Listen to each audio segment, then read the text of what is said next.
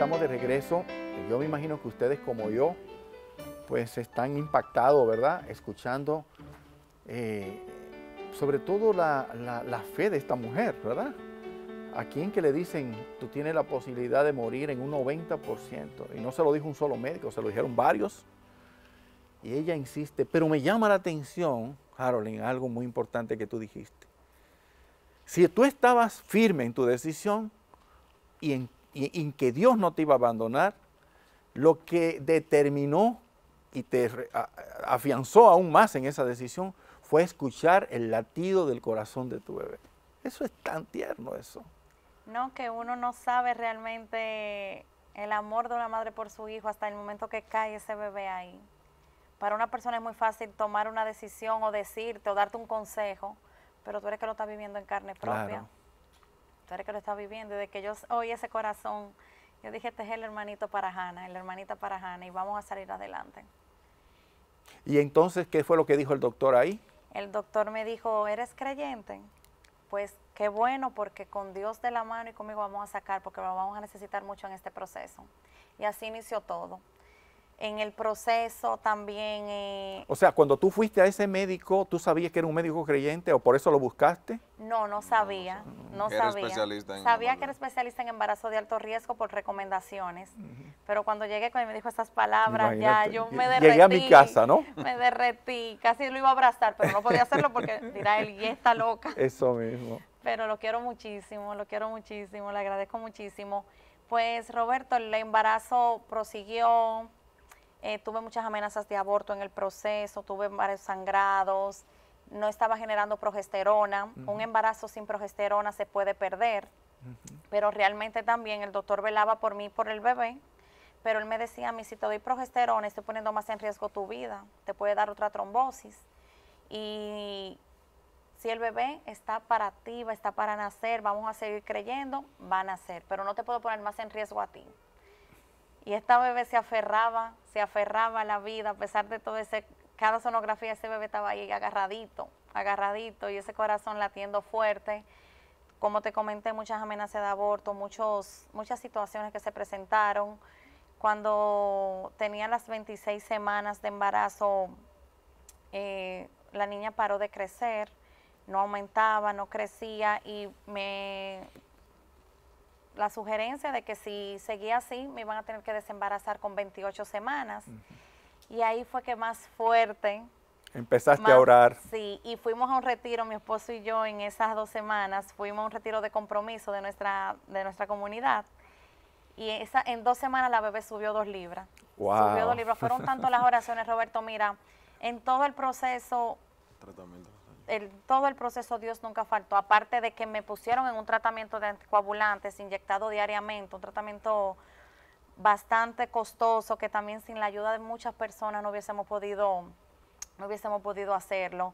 Mi familia que me apoyó desde un principio económicamente con oraciones, eh, muchas personas que sin conocerme llegaban donde mí, que otra persona le contaba, me llamaban, hacían, oraban, mis hermanos de comunidad me donaron tratamientos también de varias semanas, de un mes y pico, personas con oraciones y sin conocerme, hubo una persona que me acuerdo yo que, tuvo una situación, que tuvo también que anticoagularse por un tema de salud y me regaló el tratamiento de un mes.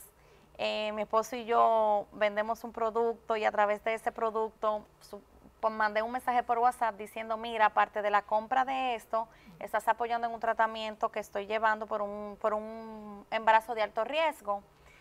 Y ese mensaje llegó a muchísimas personas, muchísimas personas, mira, yo soy de la parroquia tal y, llegó, me llegó tu mensaje, yo quiero comprarte, pero también quiero hacer una oración por ti.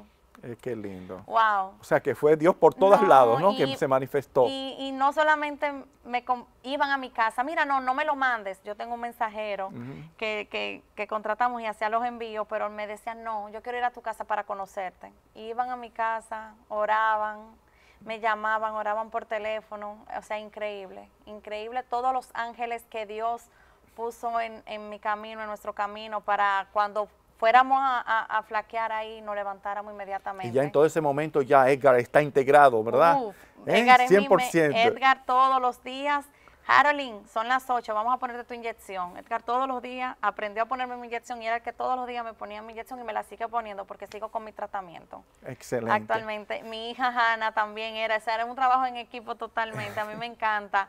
Incluso, tú sabes que a veces las hormonas en el embarazo ponen a las mujeres locas. Se y a veces yo estaba incómoda, estaba molesta las hormonas y a veces peleaba con Edgar y le decía no me voy a poner nada hoy. Me decía, oye, si tú quieres no me hables, pero te tengo que poner tu inyección. con eso no relajes. Conmigo puedes pelear, con los hormonas no. Vamos a ponerte tu inyección y me ponía. O sea, que yo podía estar como sea y él siempre en todo momento apoyándome, apoyándome en todo momento. Es tan importante eso, que las parejas entiendan que en estos momentos lo que necesitamos es comprensión, tolerancia, apoyo. Mucha paciencia. Y, sobre todo paciencia. Finalmente, entonces, ¿qué pasó?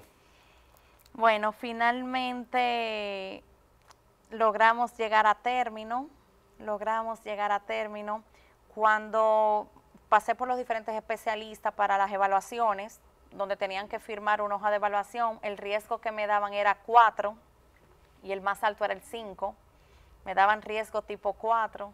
Cada vez que yo salía con esa hojita, yo Seguía siendo alto el riesgo, ¿no? Ahí fue que ella eh, cayó en sí, que realmente todos los riesgos eran de ella. En todo momento yo pensé en la niña, en todo momento, yo nunca pensé en mí, nunca pensé en mí. Hasta el momento que Hasta el momento que ya íbamos a buscar ya para la cirugía, preparándome a buscar donantes para sangre, teníamos que tener varias pintas disponibles ahí. Cuando fui a buscar mis evaluaciones, cuando yo le decía, mi amor, me pusieron cuatro, la hematóloga me dio cuatro, el anestesiólogo me dio cuatro, él me decía, ya, yo decía, ahora es que cae en cuenta y mi, mi, médico me dijo, ¿y a quién es que tú crees que yo he estado tratando todo este tiempo? Dime si era con otra Harolyn que yo estaba hablando, porque el riesgo siempre lo tuviste tú. El riesgo siempre lo tuviste tú. Y decía, doctor, yo siempre pensé en mi hija. Yo no pensaba en mí. Y en ese momento fue que, dije, ay Dios mío, ya es una realidad, ya la bebé está aquí, ya hay que, ya hay que sacarla de una forma u otra, porque hubo un tema con la anestesia, con, con el anestesiólogo, que no sabían si dormirme entera si dormirme entera, porque si me dormían entera se podía dormir a la niña también, pero también si me ponían la epidural, como ya estaba anticoagulada, se me podía, corría mucho riesgo. De un hematoma epidural y tema que yo podía hasta fallecer realmente. El riesgo grande también estaba en el momento de la cirugía. El riesgo grande fue todo el proceso y también el, en el, a la hora de someterme ya a la cirugía en sí. Me acuerdo yo que toda mi familia estaba desde las 4 de la mañana en la clínica, a las 5 me entraron al quirófano.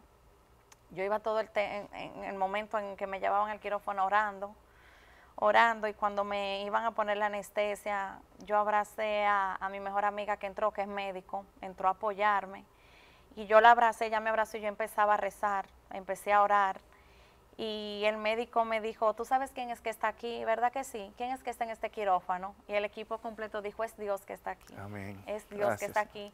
Yo sentí una paz, una tranquilidad y no fue ni un pullón ni fueron dos, fueron tres pullones que me dieron y todo salió en orden divino. Mi cirugía fue la más limpia de todas, donde se pintaba un panorama que iba a haber muchísima sangre, muchísimas complicaciones y fue sumamente rápida.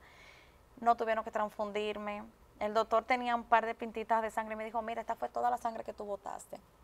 Esta fue toda. Mi esposo estaba adentro conmigo y él me agarraba la mano y él llorando. Y yo le decía, yo no siento nada, yo no siento nada, estate tranquilo. Yo estaba dándole entonces tranquilidad a él porque él estaba como muy nervioso, muy nervioso.